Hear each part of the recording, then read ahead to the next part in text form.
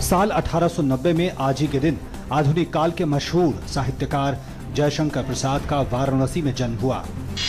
आज ही के दिन साल 1910 में भारत रत्न सी सुब्रमण्यम का कोयम्बटूर में जन्म हुआ।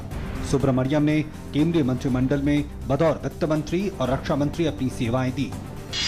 आज ही के दिन साल 1913 में प्रसिद्ध भारतीय चित्रकार अमृता शेरगिल का हंगरी की राजधानी बुडापेस्ट में जन्म हुआ।